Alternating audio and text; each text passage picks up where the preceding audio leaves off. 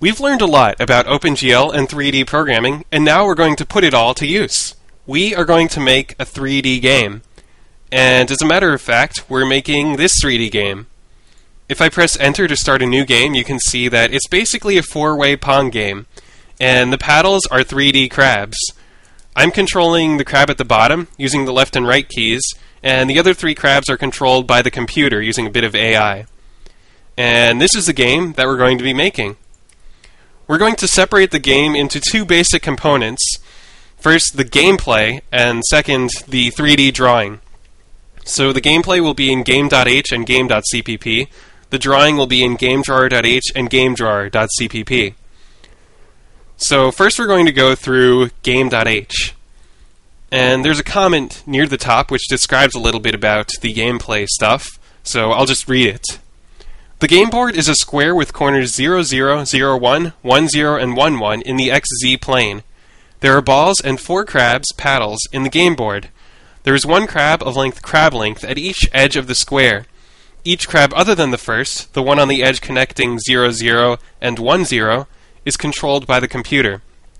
A player is scored on when a ball reaches the player's side, but the crab isn't there to block it. When a player is scored on, he loses a point, when a player reaches zero points, he's eliminated, and the side where his crab was turns into a wall. There are four circles of radius barrier size centered at the corners that limit balls and crabs' positions. There may be multiple balls in play at once. New balls are added to play by fading in at the center of the board. As in the original Pong, the direction of the ball after hitting a crab depends on the place where the ball hit the crab. So now let's go through some of the code we have the crab length and barrier size constants up here at the top. Then we have the crab class. Inside the crab class, we have the maximum speed field, which is just the maximum speed of the crab in units per second. Then we have this pose zero field, and I'm calling it pose zero instead of pose in order to distinguish it from this pose method we'll see later. So pose zero is basically just the distance from the center of the crab to the corner on its right.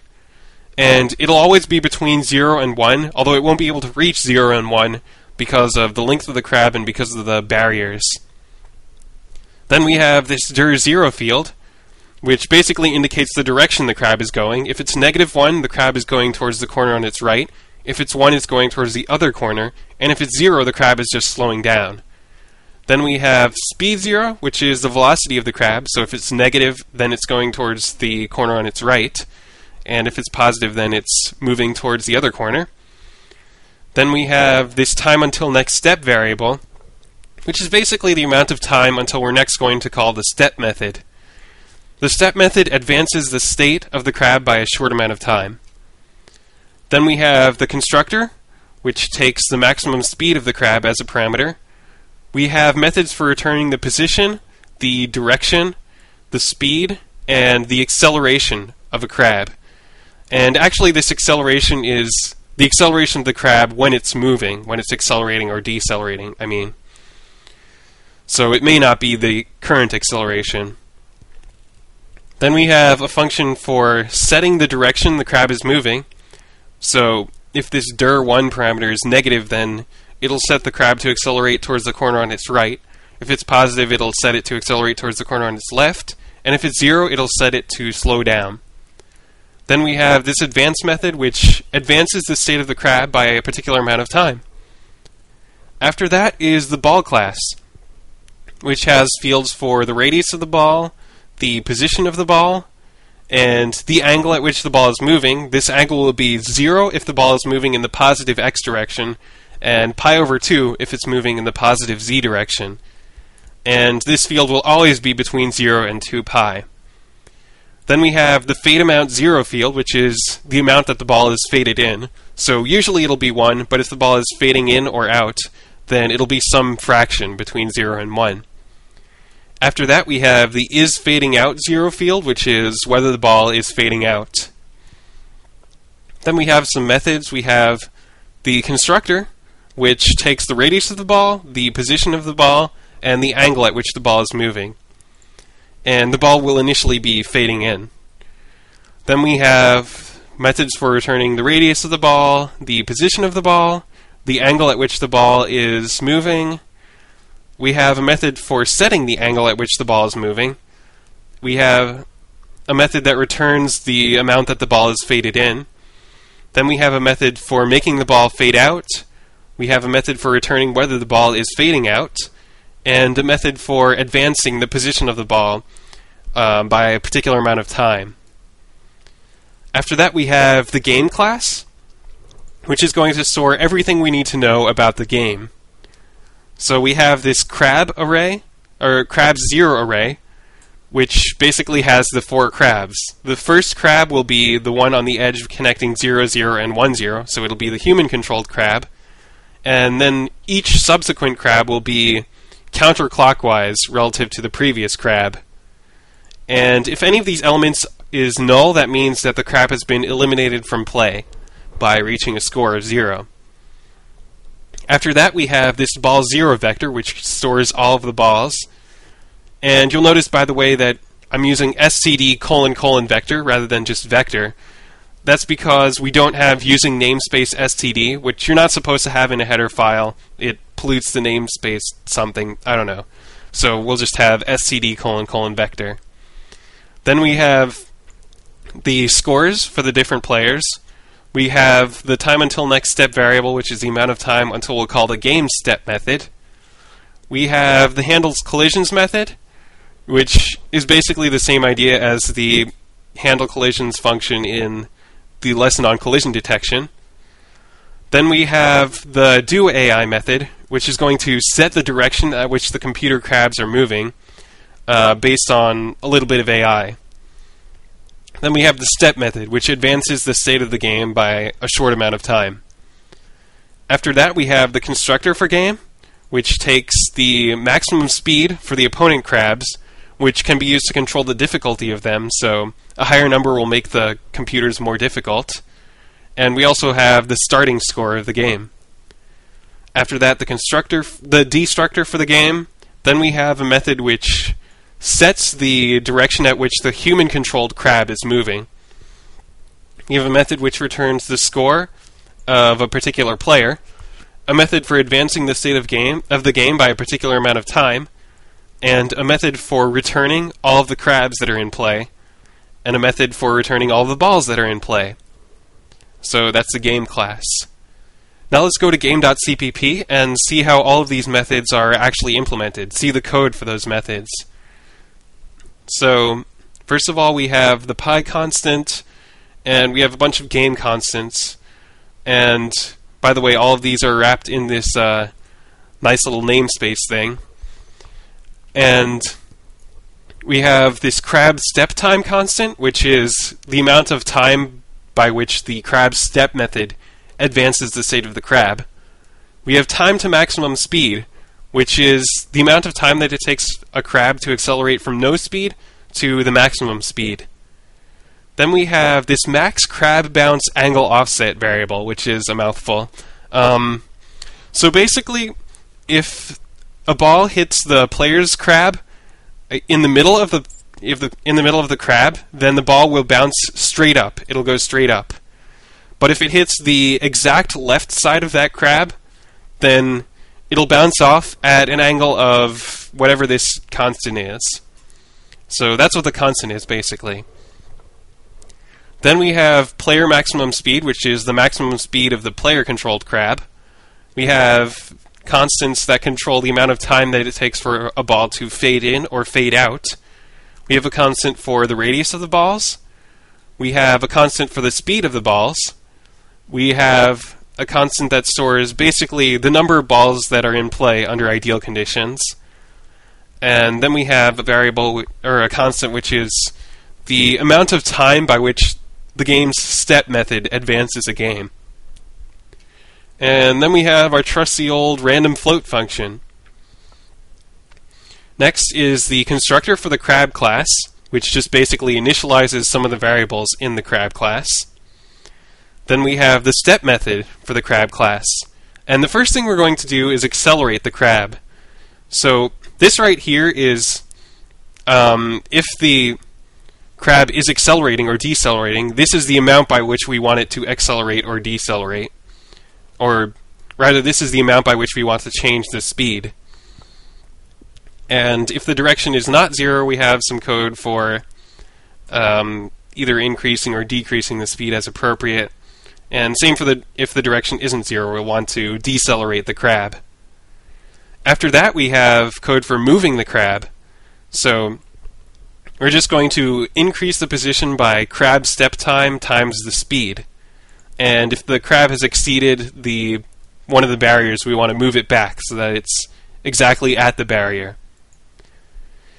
And after that, we have a method that returns the position of the crab, the direction of the crab, and the speed of the crab. So they just return these different fields that we already have in the crab class. And then we have a method that returns the acceleration of the crab when it's accelerating or decelerating. So that's going to be the maximum speed divided by the amount of time that it takes to reach that maximum speed. After that, we have a method for setting the direction of the crab. So it's just going to change the dir 0 field. Then we have the advanced method for crabs, which just calls step the appropriate number of times. Then we have our constructor for the ball class, which just initializes some of the variables for the ball class. We have methods for returning the radius, position, and angle of the ball, which just returns some of the fields that we already have in the ball class. We have a method for setting the angle of the ball, a method for returning the amount by which the ball is faded in, and a method for fading out the ball, which just sets is fading out 0 to true. Then we have a method which returns whether the ball is fading out, and we have a method for advancing the state of the ball. So we're going to advance the position based on the speed and the direction at which the ball is moving. And we're also going to update the fade amount stuff. So if the ball is fading out, we're decreasing the fade amount. If it's fading in, right here, we're going to increase the amount, uh, the fade amount zero variable. And then if there's no time left over um, after doing that, then we just return. But otherwise, we're going to adjust the x0 and z0 fields based on the direction of the ball and the speed of the ball. So using a little bit of trigonometry right here. After that, we have the constructor for the game. And what we're going to do is set up the crab zero array to have new crabs. Uh, unless the starting score happens to be zero, then they'll all just be null. Then we'll set the scores to be equal to the starting score, and we'll set time until next step to be zero. The destructor for the game is going to delete all of the crabs and all of the balls. And now we're going to have a little more freestanding functions in the namespace block. Uh, and these are going to be used for collision detection. So we have the intersect circle function, which returns whether uh, the point dx dz lies within r units of 0, 0. And then we have this collision with circle function, which returns basically whether a ball is intersecting a circle and whether it's moving towards that circle. So, in other words, whether we want to have a collision with that circle. And it takes as parameters the um, distance, or the basically the displacement to the center of the circle, the sum of the radius of the ball and the radius of the circle, and then the velocity of the ball. So this just returns whether intersect circle is true and whether the dot product of the velocity and the displacement is greater than zero. So, in other words, whether it's moving towards the circle. After that, we have a reflect method, which this is just some math that will uh, give you the reflection of a ball off of a particular wall. So, the the wall will be represented with this normal field, uh, normal parameter, which is the normal angle to the wall and this is the angle at which the ball is moving. And the reflect function will return the resultant angle after it's bounced off of that wall. Now we have a collide with circle function, which is going to cause a ball to basically collide with a circle, so it'll bounce off of the circle. And it takes the ball itself and the position of the circle. So if the ball is fading in or fading out, we don't want to do anything. But otherwise, we find the displacement from the ball to the circle, we find basically the normal angle for the circle. So this is uh, sort of like the wall off of which the ball is bouncing. It's the angle of the circle at the point of contact. Then we have the new ball angle variable, which just is the resultant angle of the ball after this collision. And we're going to make sure that this new ball angle variable lies between 0 and 2 pi, and then we're going to call set angle to set the angle of the ball after the collision. After that, we have a collision with crab function, which returns whether a ball is collided with a crab based on the position of the ball and the position of the crab. So it's basically just whether the two variables are within crab length over 2 of each other. Then we have collide with crab, which is going to cause a ball to collide with a crab. And what we're going to do is just basically take the straight off angle for the crab. So for the crab on the bottom, this would be the angle that's going that's going directly upward. And then we're going to um, use the max crab bounce angle offset variable and multiply that by the position of the ball on the crab.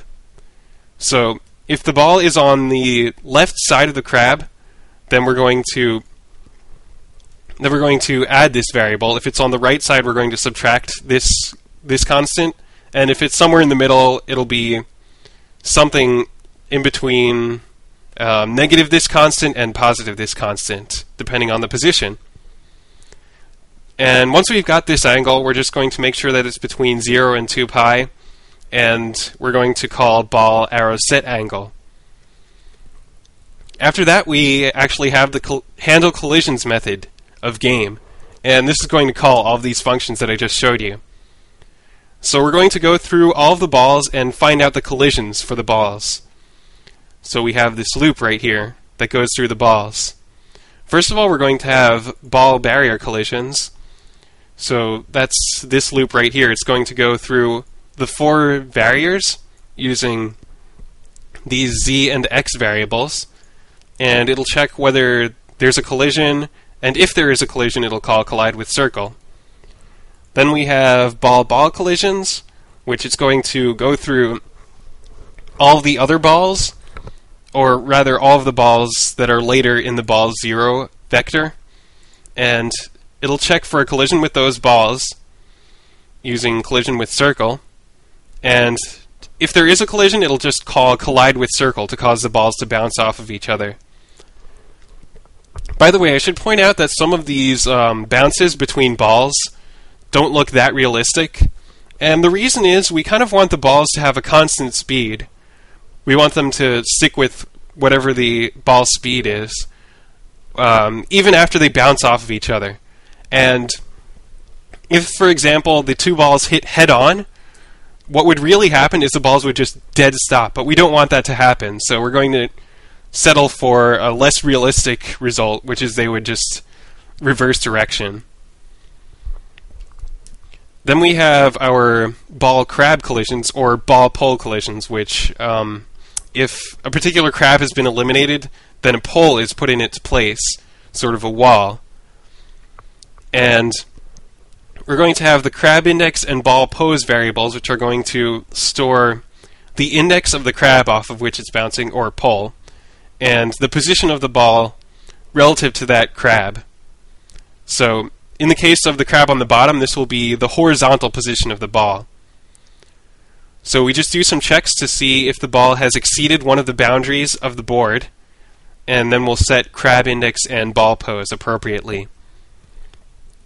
And if crab index is greater than or equal to 0, which means that there was a collision, then we're first of all going to see whether there still is a crab at that particular place rather than just a pole in its place.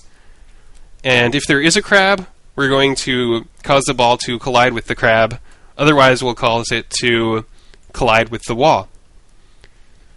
And that's the handle collisions method. After that, we have a uh, we're going to have the code for the AI for the crab, and for that we're going to need this stop pose function, which basically returns the position at which the crab will stop if it just starts decelerating right now.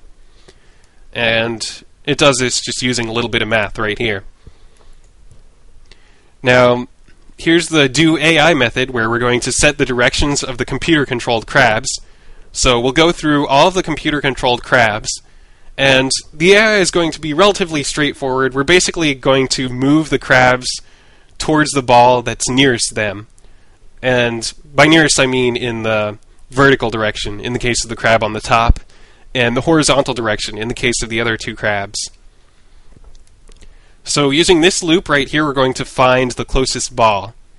And closest ball dist is the distance from the closest ball currently to the crab. And target pose is the position of that ball uh, relative to the position of the crab. So we just go through all of the balls and we find the closest ball right here. Then we're going to see basically whether if the crab stops, it will be in the middle 70% of the crab. So that's what this check is right here. If it's if it would be within the middle 70%, then we'll just have the crab stop. If we didn't do something like this, then the crab would uh, the computer controlled crabs would just sort of keep oscillating back and forth to where the ball is, but it would never actually stop where the ball is. So it would never it would have a tough time catching the ball sometimes. So if the ball if the crab will stop within the middle 70% of the ball, then we'll just stop it. Otherwise, if the target position is less than the current position, then we'll go towards that target. And if it's greater, we'll go the other direction towards the target. After that, we have the step method for the game class. And what we'll do is we'll just advance the state of the crabs by game step time. We'll advance the state of the balls by game step time. We will handle collisions. And then we want to check to see if any of the balls have scored on a player. So we're going to go through all the balls. And if the ball is completely faded in, it, that is, if it's not fading in or fading out, then we'll first of all put it into this new balls vector, which is going to store uh, all the balls that aren't going to re- be removed from doing this loop. So we're going to be removing balls from the ball zero vector if they're completely faded out. Then we'll see if anyone's been scored on, right here, and if so, we'll find the index of the player that's been scored on. So a player is scored on if the ball has exceeded one of the boundaries of the board. Then, uh, if someone was scored on, and we'll also check to make sure that that player hasn't been eliminated yet, then we'll decrease their score, and if their score has been decreased to zero, then we'll delete the crab and we'll set the element of the crab zero array to be null. And we'll also cause the ball to fade out. Then we have a check to see if the ball is faded out, and if it is faded out, or if it's not faded out, we're going to add it to the new balls vector. Otherwise, we'll just get rid of the ball. We'll delete it. And then we're setting the balls zero vector to be this new balls vector, which is the balls that are still in play. After that loop, we're going to check whether the game is over. So we're going to check whether either the player has been eliminated or all of the other um, all of the opponent crabs have been eliminated. And if the game is over, we're going to, or if the game isn't over, we're going to see if we need to add more balls to the board in order to get it closer to the num balls constant.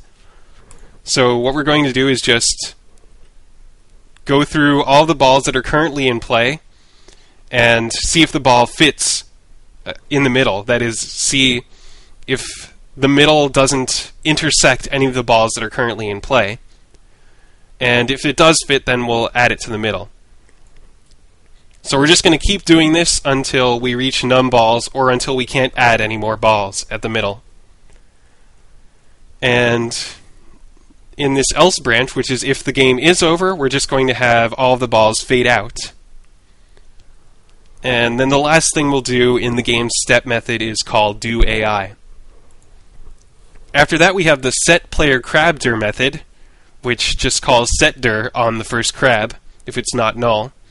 We have the score method, which just returns the appropriate element of scores. We have the advanced method, which is going to call step the appropriate number of times. The crabs method and the balls method, which just return the crab 0 and ball 0 fields. And that's game.cpp. Now that we've done all the gameplay stuff, we're going to move on to some of the 3D drawing. And first I'm going to md2model.h because I've actually made a couple of changes to the md2 model class. And we're going to take a look at that. So here are the changes. In the load method for the md2 model class, we're actually going to take a vector of texture file names because we were we're using four different textures for the four different crabs. We'll make them different colors using different textures. So I've changed the load method in that way. And the draw method will now take the number of the texture that you want to use, the index of the texture, and it'll also take the animation time. So 0 if you're using the beginning of the animation, or 0.5 if you're at the mi middle of the animation. And in the md2model.cpp class, there are corresponding changes. So let me just scroll down to these or actually, let's see. There's our load method, which I changed it to have the texture file names parameter. So we'll have to go down to where it loads the textures. And we have this nice little loop that goes through all the file names and loads them into a texture IDs vector. That texture IDs vector is uh, right here. So these are the OpenGL IDs of the textures. So this is our new loop for loading in textures. Uh, there are a couple of other changes towards the bottom. First of all, we have this new texture num parameter, so we're going to have to call gl bind texture with the appropriate texture ID. And secondly, I should point out that the way that we had this loop right here before, we were incrementing j from 0 to 2, and in fact, that was causing us to specify the vertices of a polygon in clockwise order. But we're going to be using some backface culling this time around, so we're going to specify the vertices in counterclockwise order just by reducing the loop, making j go from 2 to 0 instead. So those are the changes we've made to the MD2 model class. Now let's move on to GameDrawer.h. So in here, we're first of all going to say that there's a game class and an MD2 model class just with these two lines. We don't actually have to include game.h and MD2 model.h to let it know that those classes exist. We can just use these two lines of code. And after that we have uh, game drawer class, which is going to take care of all of the drawing for a particular game. So inside of it, there will be a game field. It'll store the game. Uh, we'll have the MD2 model for the crab. We'll have the ID for a display list, which will be used for displaying the barriers. So we'll see more about that later. We also have a display list for displaying the pole with this particular ID. The let me show you what the poles look like just by running the program. Uh, it's these green things right here. Those are poles, and these are what show up whenever a crab has been eliminated from play. So that field will keep track of uh, display list ID for a pole. Then we have IDs indicating the textures used for the sand and for the water. Then we have crab fade amounts, this array right here, which basically indicates the amount that a crab is faded in. And I haven't shown you, but when, when a crab is eliminated, the crab will basically shrink until it completely disappears. So this crab fade amounts variable will indicate how shrunk the crab is. It'll be between 0 and 1, and it'll usually be 1, but when the crab is being eliminated, it'll be some fraction between 0 and 1. After that, we have this anim times field, which is the animation times for the four crabs. We have old crab pose, which is going to keep track of the last known position of the crabs, and it's used for when a crab's eliminated from play. Because if you remember, a crab becomes null if it's eliminated from play, so we don't want to forget where the crab was when we're shrinking him. Then we have this variable, which is used to make the water look like it's traveling forward. So this is the amount that the water has traveled modulo the size of the water texture, each square used for the water texture. Then we have this is game over zero field, which is whether the game is over. We have waiting for first game, which is true at the beginning. So when I start this program, it's true because it's just waiting for a game to happen. But then once I press enter, it'll be false and it'll stay at false. After that, we have the player crab dir field, which is the direction that the human controlled crab is going, which is positive, negative, or zero. Same kind of stuff that we've seen before regarding the crab's direction. We have time until next step, which is the amount of time until we'll next call the game drawer's step method. After that, we have this set game method, a private method which sets the game used by the game drawer class. We have setup barriers, which is going to set up the display list for the four barriers. We're actually going to have one display list for displaying all four of the barriers. And then we have the setup pole method, which sets up the display list for the poles. We have the step method, which advances the game by a particular amount of time, uh, short amount of time. We have a setup lighting function, which sets up the positions of the lights and the intensities of the lights. We have some methods for drawing different things in the game. So we have draw crabs and poles, which is going to draw the crabs and the poles. And some of these are going to take an is reflected parameter, which is basically whether we're drawing a reflection rather than drawing the objects themselves.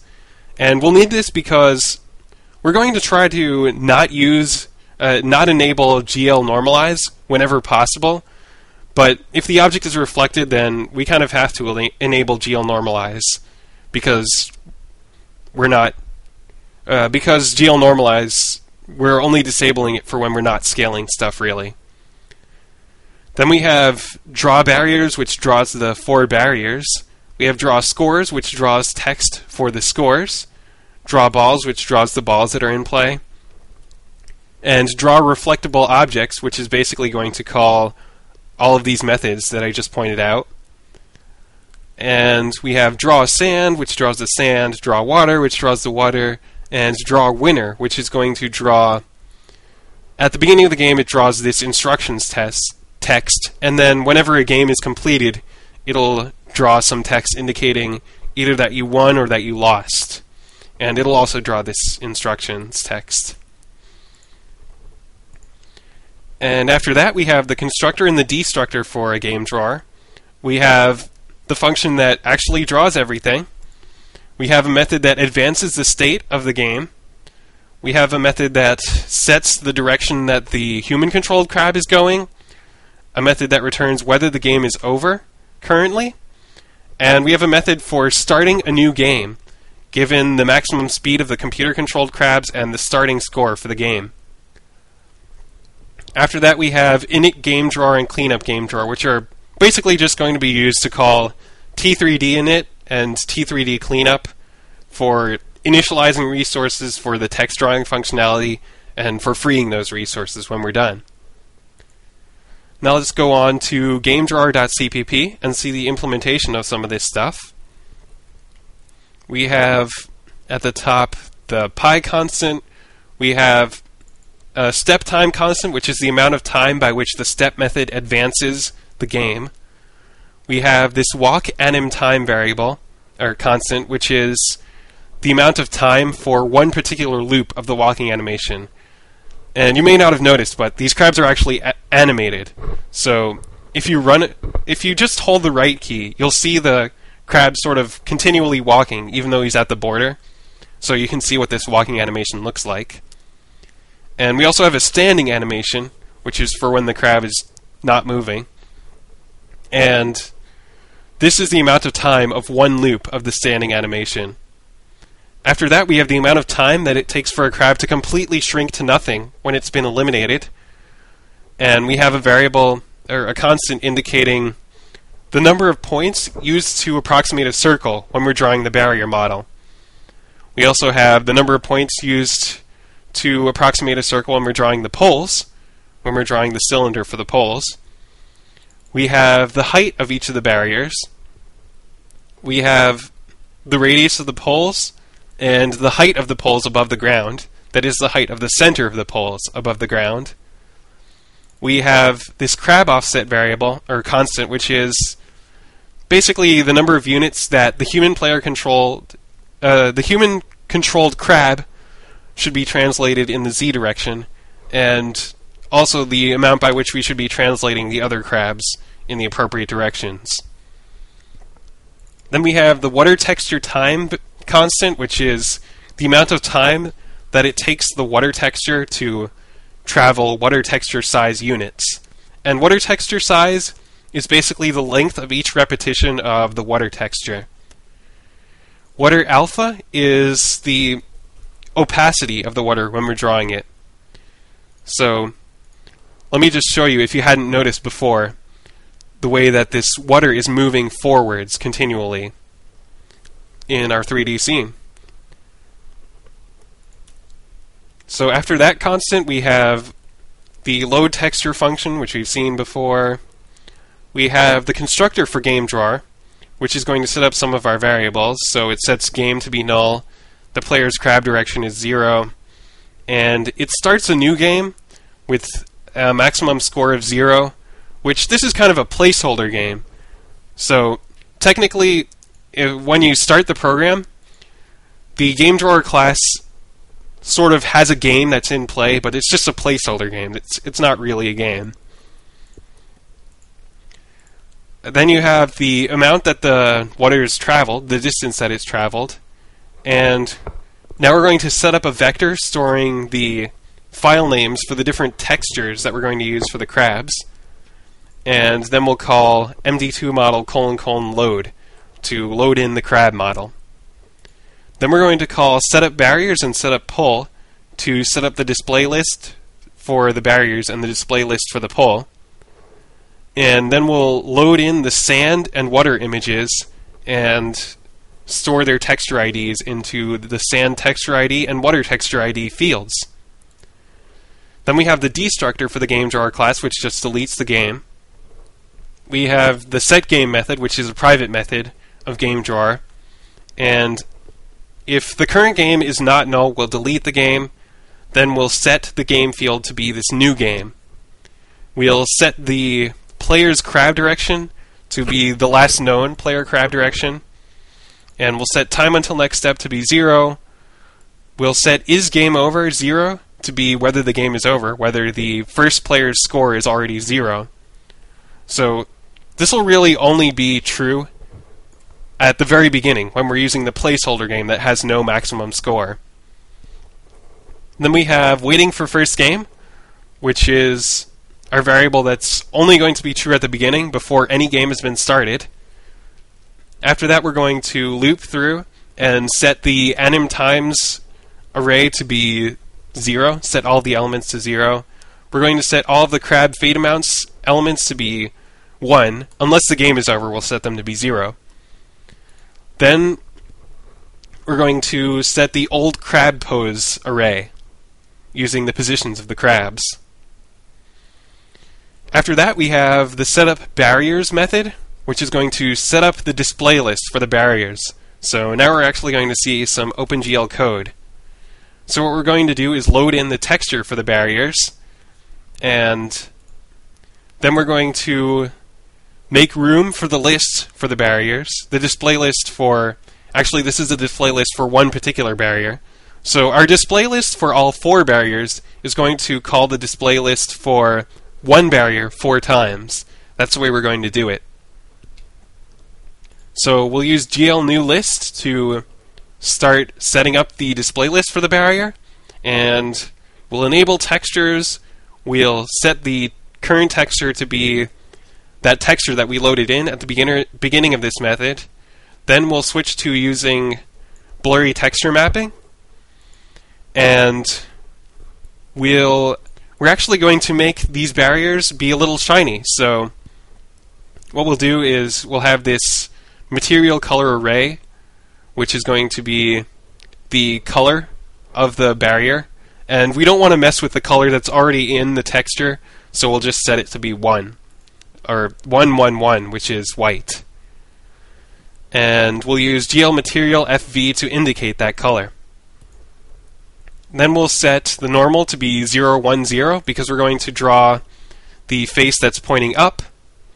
And we're actually going to use this new thing, GL Triangle Fan.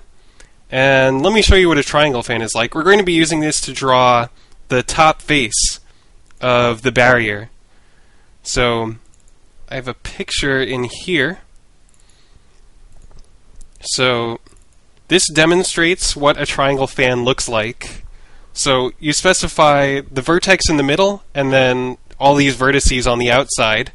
And OpenGL will draw triangles connecting the middle vertex and every consecutive pair of the other vertices. So this is how we're going to draw the circle using a triangle fan.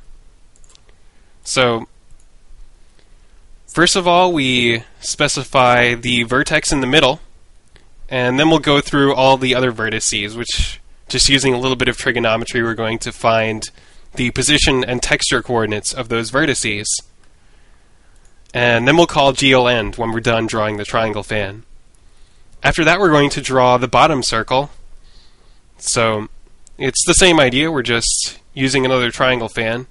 Although in this case, we're not we're not using just a um, we're not using textures, so we're going to disable textures. And it's the same idea right here. Then we have the cylinder part of the barriers. So we're going to actually use a quad strip, which is another new thing. So let me show that right here. A quad strip is basically where you indicate pairs of points to use for quadrilaterals. So this quad strip thing right here basically could be drawn by indicating the vertices in this order. So we're going to be using a quad strip to draw the cylinder. And we can compute the normals that we're going to be using just based on the ideal normals for the cylinder. And we'll set up the cylinder using a little bit of trigonometry. We'll figure out the points for the cylindrical part. And once we're done drawing the quad strip, we'll call GL end and then GL end list because we are done drawing the barrier. Now for the barriers display list, we're going to want to draw four copies of the barrier. So we'll just make room for the barrier. We will have a call to GL disable GL color material because we need to disable color material in order to add a little bit of shininess in order to use uh, these GL material F and GL material FV calls. Then we're going to add some shininess right here using GL material FV and GL material F and we're going to draw the four barriers just by calling the barrier display list four times. And once we're done, we'll just re-enable color material, and we'll set up the color and the specularity back to be just white and no specularity. And then GL end list. So we've set up a display list for displaying the four barriers. Now we want a display list for displaying the pole. So we'll start our display list and we'll disable textures because this is just a colored pole we'll set the color to be this green color, and then we'll draw the left circle using a triangle fan, draw the right circle using a triangle fan, and then draw the cylindrical part using a quad strip. And all this stuff is the same idea as for drawing the barriers. Then we have a call to GL. Now here's our step method for the Game Drawer class. we're going to advance the state of the game by the step time. Then we'll advance the water by increasing water texture offset and then making sure that it lies between 0 and water texture size. Then we're going to go through all of the crabs and update anim times, crab fade amounts, and is game over 0, whether the game is over. So we'll have this opponent alive variable, which is going to store whether we've found an opponent that's still in play, that hasn't been eliminated. And now we'll go through all of the crabs. So if a crab is not null, we'll update old crab pose. Then we'll update the animation time. So what we'll do is if the crab is not removed from play, then we'll just check which direction the crab is going, and if it's if it's just standing, we're going to increase anim times by step time divided by stand anim time. And if it's walking, we're going to change it by step time divided by walk anim time.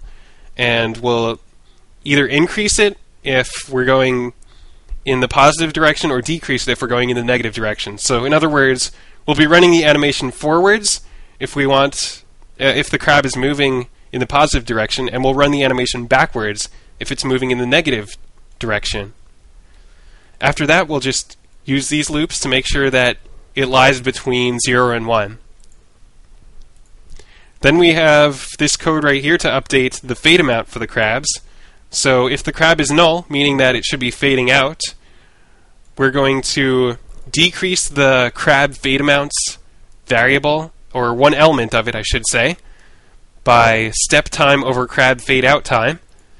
And if it goes below zero, then we're going to set the amount back to zero. And if the player happened to be the first player, which is the human control player, then we're going to say the game is over. We don't want to sit around watching the computer play itself.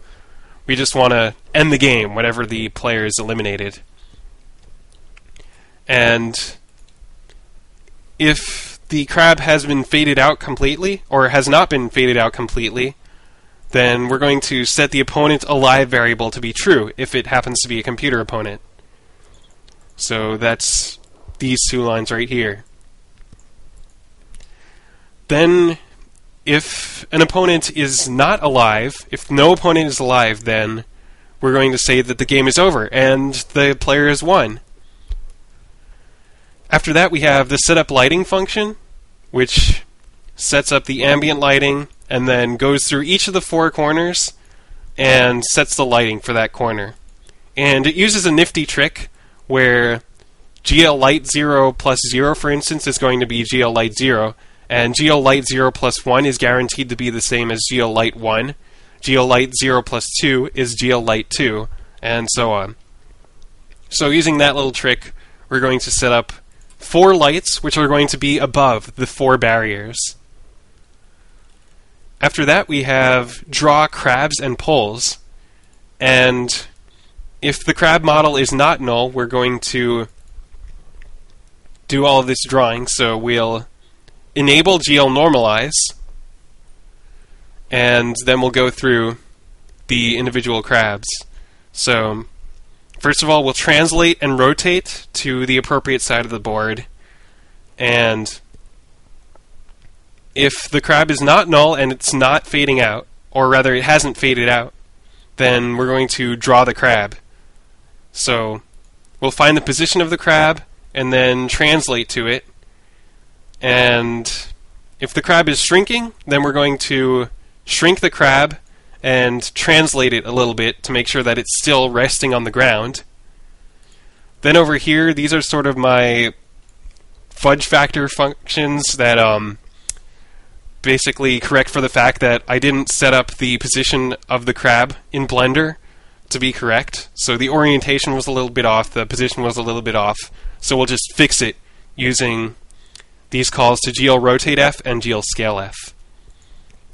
After that, we're going to call set animation on the crab model, depending on whether the crab is standing or whether it's walking.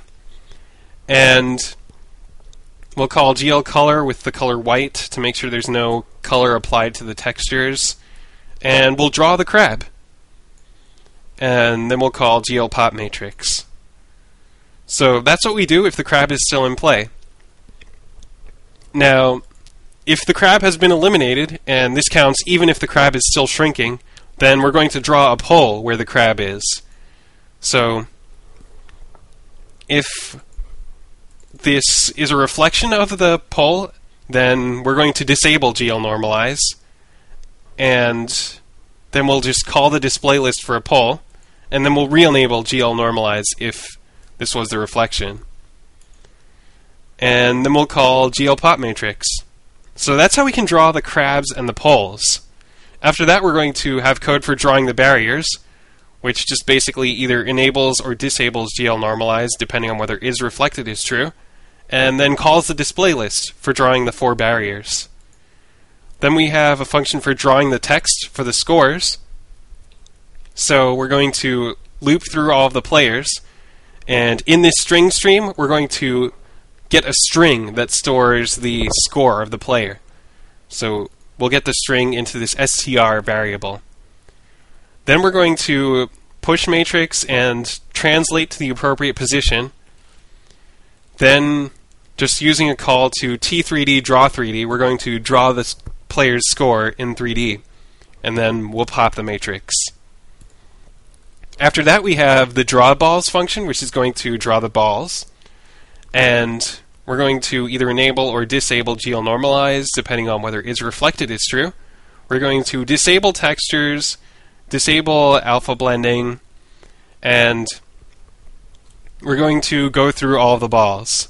So if the ball is fading out, we're going to enable alpha blending, and we're going to give the ball an alpha component of ball arrow fade amount. And otherwise, we'll just set the color to be this light gray.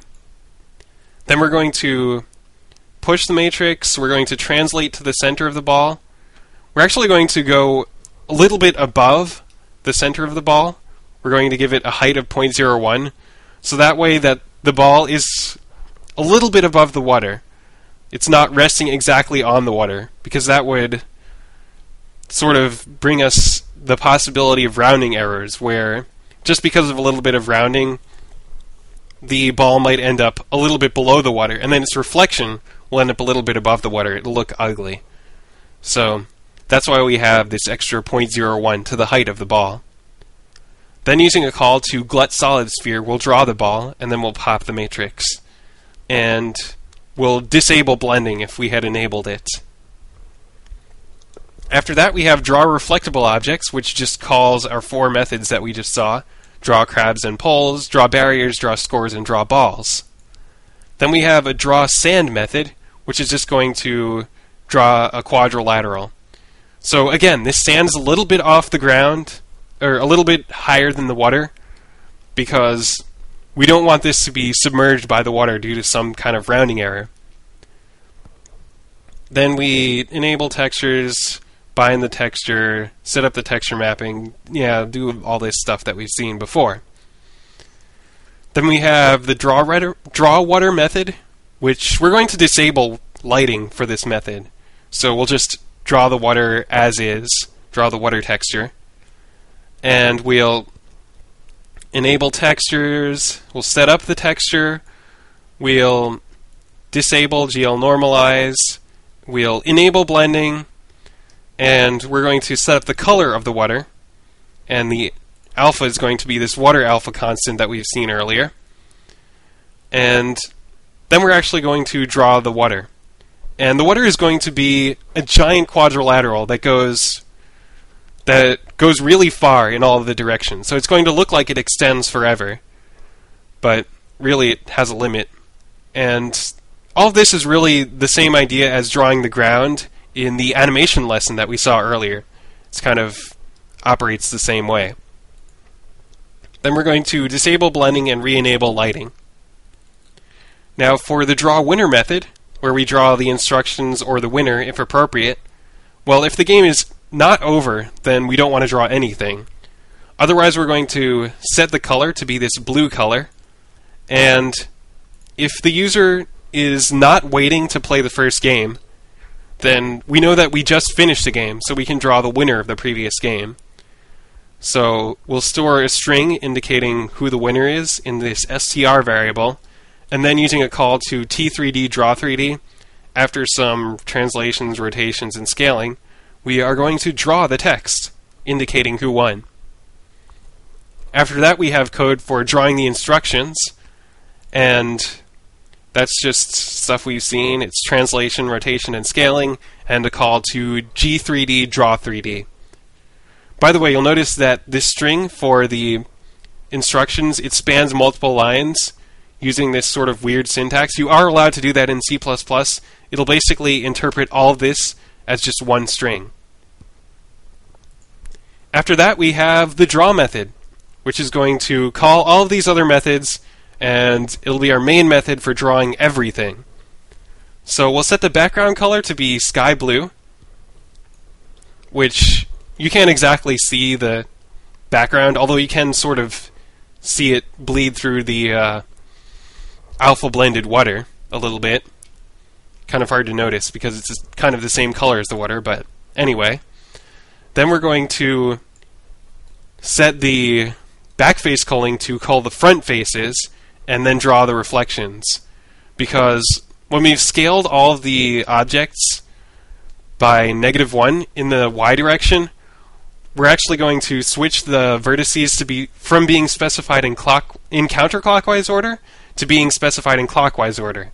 So we need this call to GL cull face GL front in order to cull the correct face. And once we've done that, we'll just scale everything about the by negative 1 about the y-axis. We'll set up the lighting and then draw the reflectable objects. So this will draw the reflections of the objects. Then we're going to draw the normal versions of the objects. So we'll set up the lighting and we'll draw the water, which is going to be alpha blended on top of the reflections. And draw the sand, draw the winner of the game and or instructions if appropriate, and then we'll draw the objects that have reflections. By the way, I should point out that we're not using anything with the stencil buffer right here.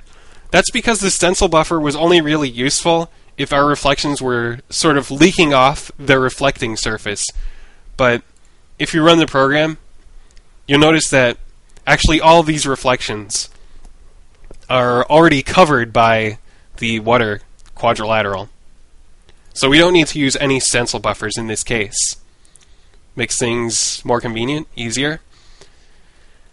After that we have this advance method, which advances the state of the game drawer just by calling step some number of times. We have set player crabdir, which sets the player crabdir field and then calls set player crabdir on the game. After that, we have is game over, which returns is game over zero. We have start new game, which just calls set game with the new game with the appropriate parameters. And then we have init game drawer and cleanup game drawer, which, like I said earlier, just call t3d init and t3d cleanup. And that is our game drawer class. Now let's go over to main.cpp. I'll scroll down a bit and we have a constant for pi. We have timer ms, which is the number of milliseconds between calling update. If the program is running a little bit slowly on your computer, you can just kick this up and it'll be more choppy, but it'll speed up the game at least. Actually, what we should have done is measure the time every time we call the update function, the timer function, we should have measured the time between the last call to the update function and the current call, and then advance the state of the game by that amount of time. But I decided against that, just keep things simple. Then we have our game drawer right here. We have variables is left key pressed and is right key pressed, which indicate whether the left key and the right key are currently depressed. And then we have rotation var, which is going to be used to, if I run the program, it'll be used to make the camera angle change a tiny bit over time, which you may or may not notice it, but this scene is sort of rotating clockwise and counterclockwise really slowly. So, like right now, this pole is sort of diagonal, but after a while, the pole will get straight, and then the pole will be diagonal the other direction. So this rotation var is going to let us do that that thing. It'll make us be able to have this sort of effect. Now rotation var will start out as 0 and then it'll climb until it gets to 2 pi and then it'll jump back to 0 and then climb again and jump back to 0 again and so on. Our cleanup function is going to delete the game drawer and then call cleanup game drawer. In handle key press, if the user presses enter, which is backslash r, then if the game is currently over, then we'll start a new game. That's what the enter key does. And if the user presses escape, like usual, we'll just call cleanup and then call exit. Now we'll have a handle special key press function, which we'll actually use to handle the left and the right keys. Because the left and the right keys don't have any ASCII equivalents, so we can't just use handle key press to handle them. We have to have a special function. So it's going to take an integer key, and just like handle key press, the coordinates of the mouse. So if this key is glut key left, indicating that the user pressed the left key, then we're going to set is left key pressed to true, and then we're going to call set player crabdir to set to the appropriate direction. And same with the right key, we'll set is right key pressed to true. After that, we have a handle special key released function, which will be called every time either or anytime a special key is released. So we'll use it for when left is released. We'll set is left key pressed to false and then set the direction of the crab. And same for the right key. Set is right key pressed to false and set the direction of the crab. After that, our init rendering function, which sets up all of our stuff and calls init game drawer. So we're going to actually enable backface culling for this because we're using backface culling pretty much throughout our program, throughout the drawing code. Then in our handle resize function, I actually changed the near and the far distances from the usual distances that we've been using in other programs, which are 1 and 200. I've changed it to 0.02 and 0.5 and 5 because our game board is one unit long. So we're really only using one unit of distance. After that, we have the draw scene function, which is going to set up some stuff with the camera.